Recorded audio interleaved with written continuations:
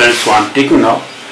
Next lecture series in which I'm taking boats and streams in the same topic time and distance. ठीक है? इसके अंदर time and distance के अंदर हमने कंटिन्यूशन नहीं किया। ये नेक्स्ट लेक्चर है नेक्स्ट सीरीज़ में है। इसके अंदर टाइम एंड डिस्टेंस में one more topic which is boats and stream के बारे में बात करते हैं। ठीक है? बोट्स और स्ट्रीम के बारे में ये बात करते हैं। सबसे पहले बात आती है कि भाई बोट्स और स्ट्रीम क्या मतलब है इसका? क्योंकि आप अभी तक हमने पढ़ा रिलेटिव स्पीड रिलेटिव स्पीड में क्या होता है कि दोनों चीज़ें मूव करती हैं अर्थ के ऊपर रोड्स के ऊपर है रोड और अर्थ के ऊपर. जब अर्थ स्टेशनरी रहती है, मैंने स्थिर रहती है और बाकी चीज़ें दो मूव करती हैं, है ना? एक सेम डायरेक्शन में और अपोजिट डायरेक्शन में तो हम कहते थे रिलेटिव स्पीड निकालते थे। उसी के आगे का ये पॉइंट है, यहाँ भी रिलेटिव स्पीड है बट यहाँ रिलेटिव स्पीड किसकी है?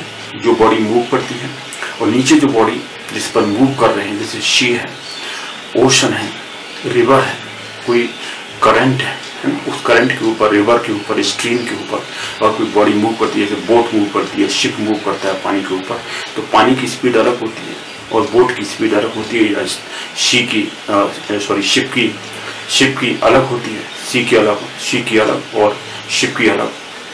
इस तरह से दोनों ही वाटर बॉडी जिस पर कोई चीज़ मूव करती है वो भी मूव कर रही है और या स्टेबल है स्टिल स्टिल पोजिशन में है, स्थिर अवस्था में। और दूसरी जो बॉडी मूव करती है है ना, इन दोनों का कंसर्न है यहाँ पर यानी जो जो आपका वो है यानी जो पाथ है जिसके ऊपर चल रहा है, कोई चीज़ कोई चीज़ मूव करती है, उसके बीच में और द स्ट्रीम और the current on which the thing is moving उन दोनों के बीच में रिलेटिव स्पीड निकालते हैं। और effective speed of the boat क्या होती है इफ़ेक्टिव स्पीड ऑफ़ शिप क्या होती है वो हमें निकालनी होती है। या मैन की जो मैन ड्रो कर रहा है पानी के अंदर, उसकी हमें इफ़ेक्टिव स्पीड निकालनी है।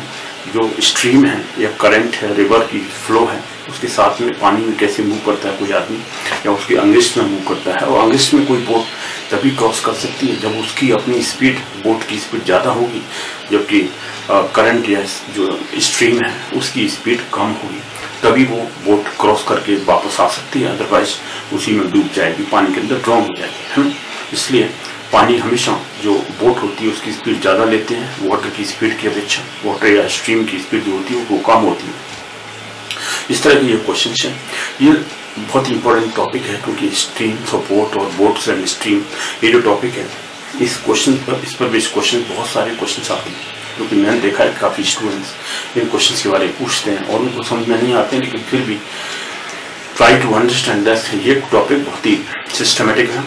आपको समझ में आना चाहिए, क्योंकि इसके अंदर जो टॉपिक्स हैं मिसली अप स्ट्रीम डाउन स्ट्रीम क्या है भाई? और स्पीड ऑफ़ दी बोट क्या है, या स्पीड ऑफ़ दी जो रोहर है, या मैन है है ना? जो स्विमर है, उसकी स्पीड क्या है? बोट और मैन और स्विमर ये दोनों तीनों चीज़ एक ही होती हैं, जबकि स्ट्रीम करंट रिवर और शी इन सब की एक ही चीज़ है। इसका मतलब उनकी स्पीड अलग होती है। जब कभी हम स्पीड ऑफ़ बोट निकालते हैं, इसका मतलब है उसकी स्पीड स्टिल वाटर में है। शांत जब वाटर है, तब उसके ऊपर कोई बोट कैसे मूव कर रही है, उसकी स्पीड क्या होगी उस स्पीड से मतलब होता है। ठीक है? तो हम इसके बारे में बात करते हैं डिस्कस करते हैं, तब देखिए। Okay the speed of a boat और a man on a or a current ये करंट का मतलब होता है कोई भी स्ट्रीम और वाटर करंट और स्ट्रीम ये तीनों वर्ड एक ही स्ट्रीम करंट रिवर ये सभी फ्लो कर रहे हैं उसके ऊपर स्पीड ऑफ़ ए बोट और मैन ऑन ए रिवर और करंट और stream means the speed of it in still water. Speed of it means boat in still water. ये बात आपको समझनी पड़ेगी ठीक है the speed of the current of the current or stream that or water body ये काफ़ी words use होते हैं water body means the speed of it the speed of it at which the water is flowing at which the water is flowing right at which the water is flowing उस speed से मतलब होता है अब आते हैं what is downstream upstream है कि डाउन स्ट्रीम क्या होता है डाउन स्ट्रीम ये जो वर्ड है बहुत इंपॉर्टेंट होता है स्ट्रीम और बोट के बारे में अब देखिए क्या होता है downstream when the boat or a man is rowing with the with the stream the current or stream okay. The effective speed. The effective speed of the boat or man will be known as downstream speed. Downstream. Speed ये quant होता है downstream का। अब आते हैं भाई बड़े upstream क्या होती है? वो देखते हैं। दूसरा बात दूसरी बात आती है अपस्ट्रीम ये अपस्ट्रीम जो वर्ड है, इसका भी बहुत ज़्यादा यूज़ होता है। अपस्ट्रीम सभी क्वेश्चन में when a boat or a man is rowing opposite to the flow of water body. Flow of water body or against the stream. Then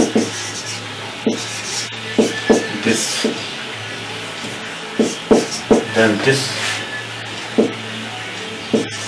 effective speed. जो रिजल्टेंट स्पीड होती है ना, और effective speed resultant वो resultant speed है, अगर boat against आ रही है किसी रिवर के, यानी रिवर इधर बहती है और बोट और बोट इधर से आ रही है तो दोनों की जो इफ़ेक्टिव स्पीड होगी बोट की, वो एक्स मान बाई मान लो एक्स स्पीड बोट की है, और वाई स्पीड करंट की है तो एक्स मान वाई ये upstream इफेक्टिव स्पीड हुई है ना then this effective speed of the boat will be known as upstream speed. Upstream speed of the boat.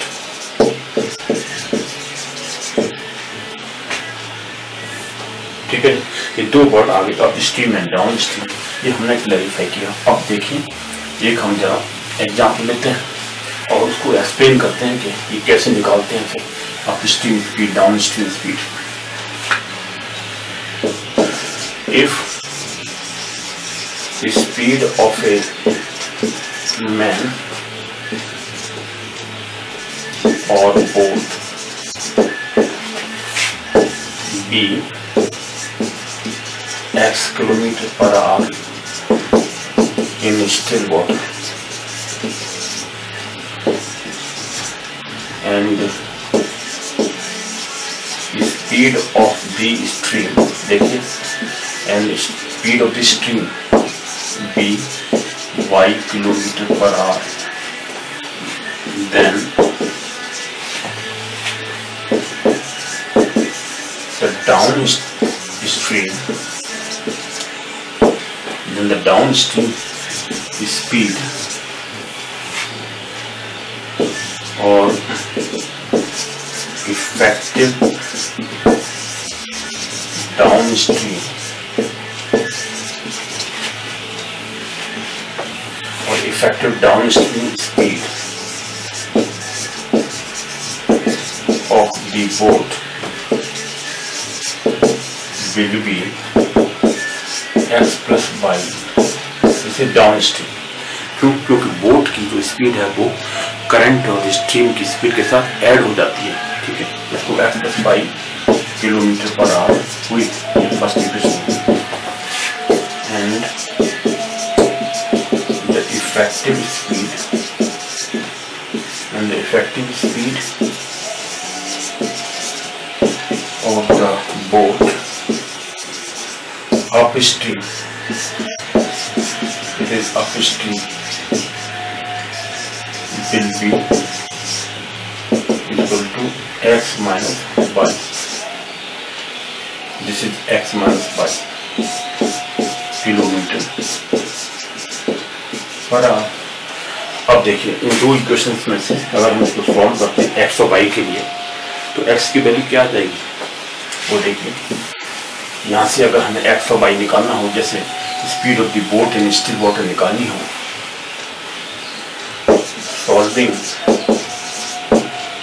first and second equations we get x equal to half of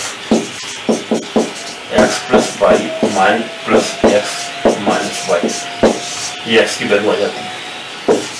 and y equal to हो जाएगा x plus y minus x minus y मतलब क्या होगा? ये down stream या upstream speed downstream upstream up speed तो difference of these two up downstream and upstream का difference यहाँ पे addition sum sum of the upstream and downstream ठीक है? इस तरह से हम इनकी वैल्यू निकाल देते हैं। दोनों इक्वेशन को सॉल्व करके।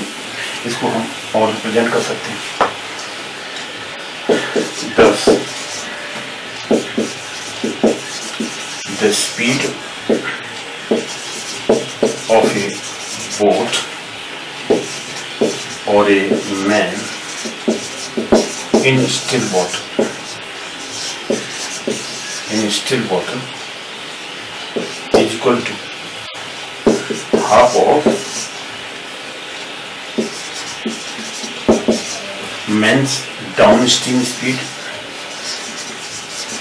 downstream speed plus men's upstream speed एक तो ये फॉर्मूला हो जाता है दोनों का हम सम कर देते हैं sum of and speed of the current this is value of x and speed of the current current की निकालनी जैसे वाई तो क्या निकालना वो हुई half of means downstream downstream speed downstream downstream speed minus means up speed speed upstream speed इन दोनों का डिफरेंस होता है। ये दो फॉर्मूले शॉर्टकट फॉर्म निकल कहलाते हैं। इनका हम ज़्यादा यूज़ करते हैं मोस्टली डायरेक्ट निकालने के लिए।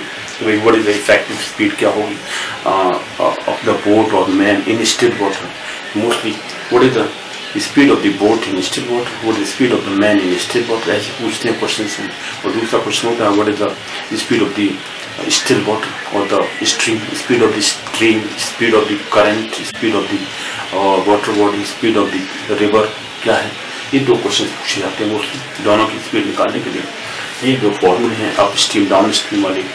सम करके एडिशन और डिफरेंट निकाल के डाउन स्ट्रीम में से माइनस करते हैं अप स्ट्रीम की स्पीड दोनों की इफ़ेक्ट दोनों का डिफरेंस आता है तो हम वहाँ स्ट्रीम की जो स्पीड होती है वो निकल आती है उसका हाफ़ करके half of the sum of the down downstream speed plus upstream speed दोनों का हम ऐड ऐड करके सम करके उसका हाफ़ करके तब वैल्यू निकालते हैं स्पीड ऑफ़ दी बोट की दो फॉर्मूले शॉर्टकट कहलाते हैं, इनका बहुत ज़्यादा यूज़ होता है।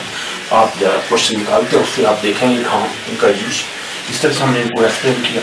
बहुत ही ज़्यादा इम्पोर्टेंट क्वेश्चन मतलब क्वेश्चन इंपॉर्टेंट है क्यों क्योंकि इन फॉर्मूले पर बेस्ड आपको समझ में आएगा, बहुत ईजिली सॉल्व कर सकते हैं। क्योंकि क्वेश्चन देखें।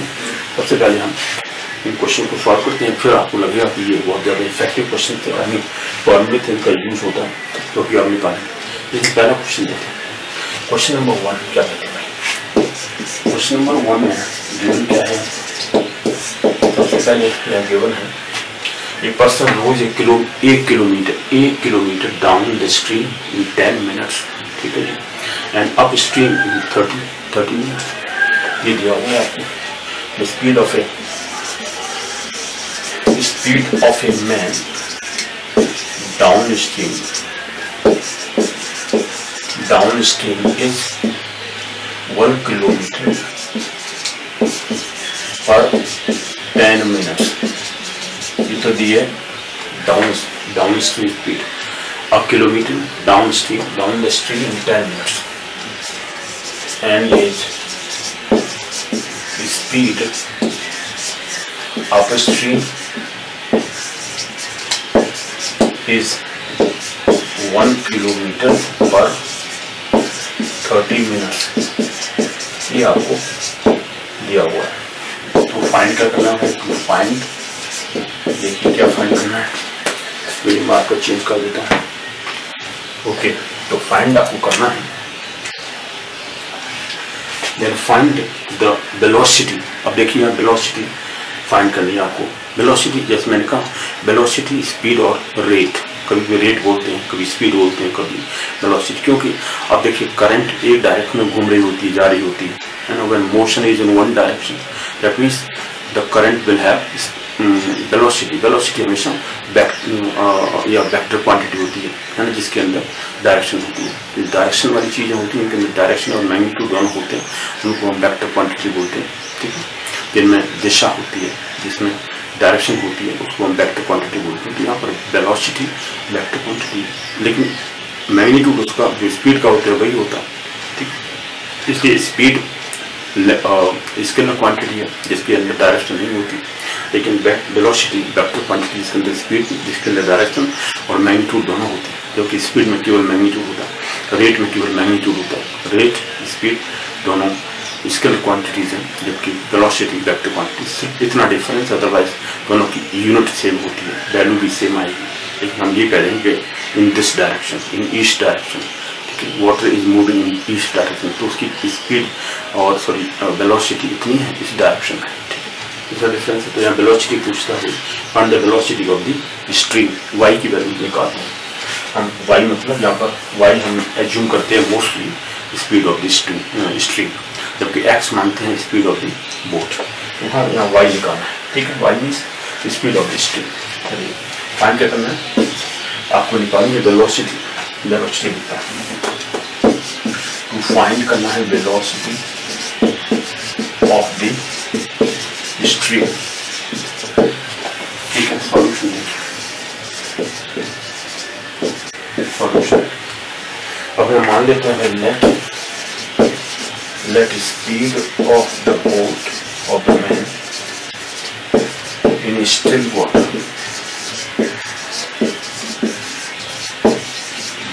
X kilometer per hour and speed of the दूसरी बात ये भी मान लेते हैं and speed of the stream speed of the stream in or speed of the stream be y kilometer per hour then downstream then speed of the man downstream देखिए downstream कितनी speed हो गई downstream will be x plus y and upstream upstream speed कितनी होगी? And upstream speed equal to होगी x minus y इनकी value जो दी है x plus y equal to one kilometer per ten minute ये बात इंपॉर्टेंट है। चलो मैं इसका सॉल्यूशन यहाँ निकालता हूँ। ब्लैक छोटे सॉल्व करते हैं सॉल्यूशन देखिए। अगेन सॉल्यूशन तो इसका मतलब ये but downstream speed x plus y कितना है? One kilometre per ten minutes one kilometre upon ten minutes ten upon sixty hours अभी देखिए, ये जो मैं इसको ऐसे लिखता हूँ। One upon ten upon sixty भाई क्यों? वन किलोमीटर पर आवर हमें निकालना होता है। टेन मिनट्स दिया हुआ था इसको टेन फ़ोन सिक्सटी से डिवाइड किया। अब ये वन किलोमीटर पर आवर हो गया। सिक्सटी ऊपर आ जाएगा। इसका मतलब ये हो जाएगा sixty upon ten zero cancel hour six आ गया तो ये पहला इक्वेशन आ गया और x plus y equal to six first equation second value क्या है? वो कहता है अप स्ट्रीम जो वैल्यू है।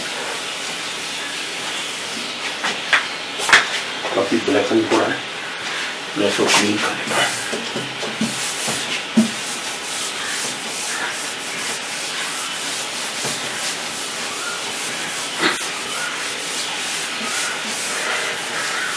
हूँ एंड एक्स माइनस बाई कितना है? One kilometre per thirty minutes. ये हो गया one upon thirty upon sixty. Equal to sixty upon thirty. तो सिक्सटी ऊपर आ जाएगा। One divided by thirty upon sixty sixty upon thirty. Ratio में कन्वर्ट। अगर रेशो दिया हुआ है और नीचे वाला वैल्यू को अब डिवीज़न में है तो उसको मल्टीपल चेंज करते हैं तो रेशो रिवर्स हो जाता है। तो ये थर्टी टू किलोमीटर आ गया थ्री किलोमीटर सिक्स तो टू किलोमीटर ये सेकंड इक्वेशन दोनों को हम ऐड कर दें जिससे इम्प्लाइज है।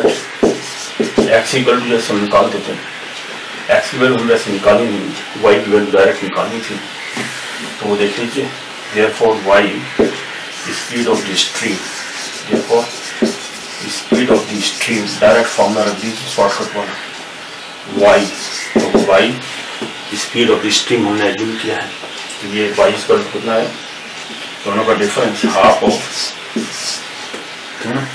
half of दोनों की एक्स प्लस बाई लगनी यहाँ पे लिख देते हैं। X plus y minus x minus y x plus y तो भाई हमारा सिक्स आ गया था। माइनस ये टू है। थ्री टू सिक्स तो ये फोर अपॉइंट थ्री क्या आया टू किलोमीटर पर आवर इसका मतलब speed of the water body और stream is two kilometre per hour यही आंसर है देखा आपने इस तरह से क्वेश्चन सॉल्व हो तो हम लिखते हैं speed of the sorry velocity in this case velocity लिख सकते हैं आप? Hence velocity of the stream is equal to two kilometre per hour यही आंसर है क्वेश्चन नंबर वन देखा आपने सॉल्व कर लिया इस तरह से सभी क्वेश्चन सॉल्व कर सकते हैं और कुछ डिफरेंट क्वेश्चन हैं आप देखेंगे अभी कि कुछ क्वेश्चन ऐसे हैं, जिनमें कुछ डिफरेंट कंसेप्ट यूज़ करेंगे। तो अभी आप देखिए। विद पेशेंस और विद इंटरेस्ट पेशेंस और इंटरेस्ट के साथ में आपको देखना चाहिए। मैं इधर इसको क्लीन करता हूँ पहले। इंटरेस्ट काम नहीं करता कभी भी।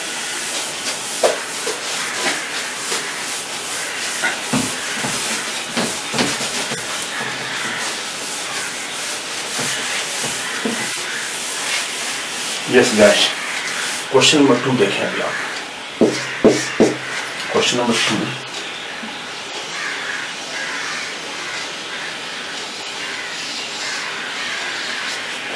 okay question two कहता है a man rows 15 kilometres downstream in three hours and 45 minutes three hours and 45 minutes he rose 15 kilometers downstream and 5 kilometers upstream in 2 hours 30 minutes. Find the speed in still water and also the speed of the current. यहाँ दोनों चीज़ आपको निकालनी है। Speed of the current भी निकालनी है and speed of the boat भी निकालनी है। And his speed means man speed man rows, देखिए क्या भेजने हैं आपको। वो मैं पहले लिख देता हूँ। A man can row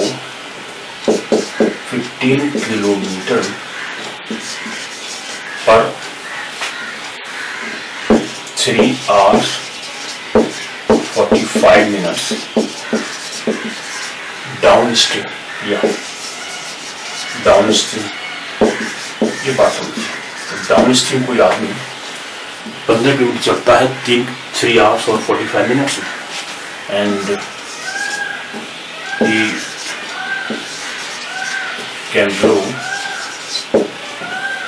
upstream कितना टेन ओके अप स्ट्रीम चलता है कितना?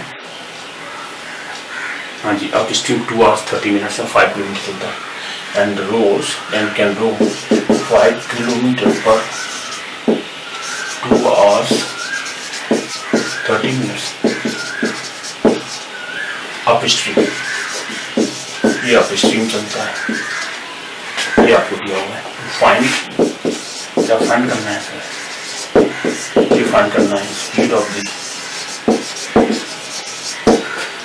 speed of the of the man of the man in still water speed of the man in still water and the speed of the current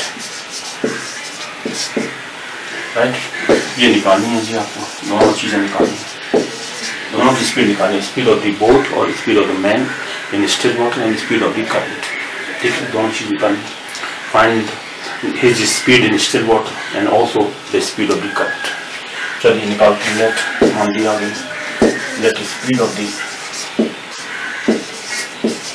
let speed of the man in still water ये बात हमें संभाल लेते हैं in still water sorry in still water B S kilometre per hour and speed of the current B by kilometre per hour ठीक है जी, इसका मतलब therefore x plus y downstream down downstream speed is therefore x plus y means downstream speed, वो कहता है। मैं रोज 15 kilometre तो 15 kilometre divided by let me take upon divided by 3 and 45 minutes 3 and 45 minutes means 45.60 इसका मतलब हुआ 15 upon upon 3 40 45 15 3 जा 15 4 जा तो 4 3 जा 12 and 3 15 15 upon 4 15 divided by 15 upon 4 why 15 क्योंकि 4 3 जा 12 हो गया 12 plus 3 15 15 upon 4 तो 3 and 45 मिनट्स का मतलब हुआ 3 एंड सॉरी 15 अपॉन 4 आवर्स कह सकते हैं तो 4 से 15 से 15 कैंसिल आउट आ गया 4 तो x प्लस बाई की वैल्यू 4 आ गई यानी फ़र्स्ट इक्वेशन ये होगा यानी और let me write x plus y equal to 4 ये आपका फ़र्स्ट इक्वेशन हुआ सेकेंडली दूसरा, दूसरी बात क्या कहता है? एंड x माइनस बाई कहता है अपस्ट्रीम फाइव किलोमीटर चलता है कितने में? Five kilometre divided by two and half मतलब हुआ five divided by five upon two two two four and five five point two two से टू पर पहुंचेगा फाइव से फाइव में टू आ गया. X minus y two two देखा, ये दोनों वैल्यूज़ आपके आ जाती एक्स माइनस बाई की वैल्यू आ गई सेकेंड इक्वेशन और एक्स प्लस बाई की वैल्यू फोर आ गई। ये आपका फ़र्स्ट इक्वेशन दोनों को सॉल्व कर लेते हैं। दोनों को सॉल्व करने पर वही डायरेक्ट फॉर्मूला रख दीजिए सॉल्व करके वही आ जाता है। हियर फॉर दोनों निकालनी है इसकी x equal to x equal to half of sum of these four plus two वैसे दोनों पूछते हैं x plus y plus x minus y दोनों की वैल्यू ये दी है फ़र्स्ट सेकंड से। From first and second is equal to half of 4 minus 2 यहाँ पर टू अपॉन टू होगा। ये सिक्स अपॉन टू ऊपर वाले में सिक्स अपॉन टू आया पहले में थ्री आ गया, दूसरे में वन आ गया। There for x